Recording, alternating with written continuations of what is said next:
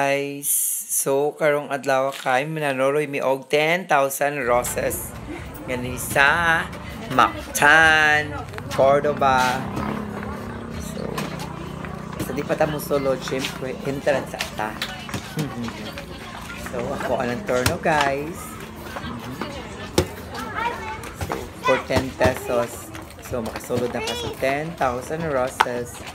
Then, kung inyo makitaan, makitaan yun mo, sold ni mo ang tulo kalagong Christmas tree.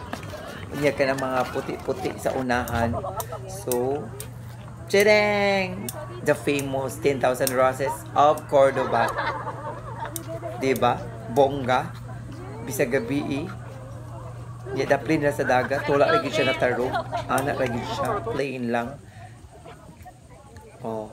So, picture picture time with my sister. Hmm, ako may agaw. Ako pagmangkon. Enjoy kay sila. Okay. Lakaw-lakaw taga may bi. Tanaw-tanaw ta sa view.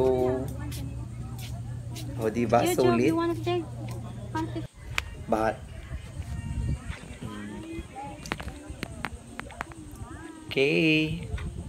So, hi guys. So, I'm here at 10,000 Roses at Cordoba. So, behind my back is my auntie sister.